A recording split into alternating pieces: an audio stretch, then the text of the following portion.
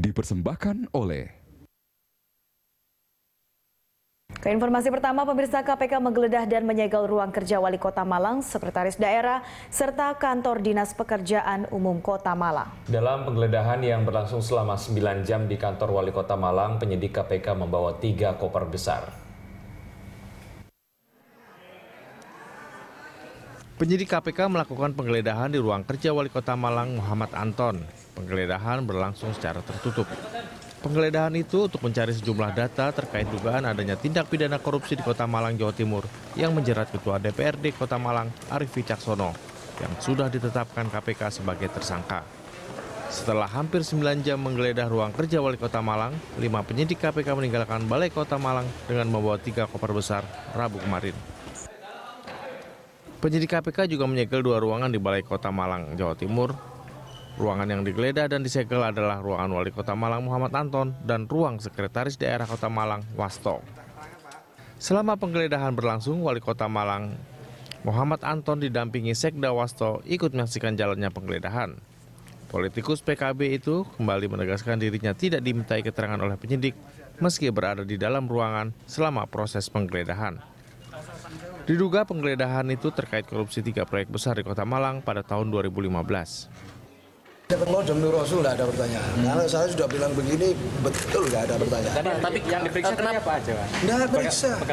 Tidak periksa. Dia hanya mengambil data, datanya siapa uh, tadi Pak Sekda yang yang yang uh, saya saya anu apa Pak Wali sudah tinggal aja, tapi saya nggak tinggal. Data apa Pak yang diperiksa? Nggak tahu saya ini ya Apa? lama banget Pak ya? Tapi kan di dalam ada pertanyaan mungkin buat apa? Hah? Ada pertanyaan mungkin buat apa? Satu pun. Ya Allah, ya Allah. Gimana Pak? Gimana Pak? Saya sudah bilang satu pun Selain penggeledahan ruang kerja Wali Kota Malang, penyidik KPK juga mendatangi kantor Dinas Pekerjaan Umum dan Penataan Ruang Kota Malang.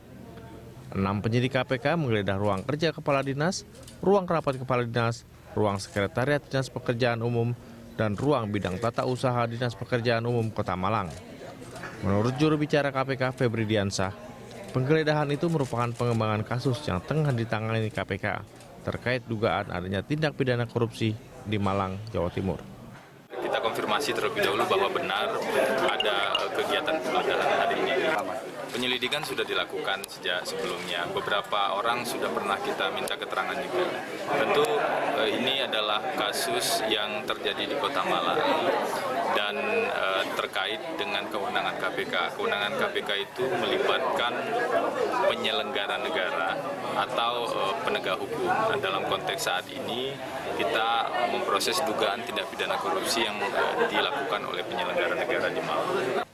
Wakil Ketua Komisi Pemberantasan Korupsi Saud Sitomorang mengatakan lembaganya telah menetapkan Ketua DPRD Malang Arif Wicaksono dan Kepala Dinas Pekerjaan Umum Perumahan dan Pengawasan Bangunan Jarod Edi Sulistiono sebagai tersangka. Pihaknya masih terus mengembangkan kasus itu. Didik Fibrianto, kontributor Berita Satu Malang, Jawa Timur.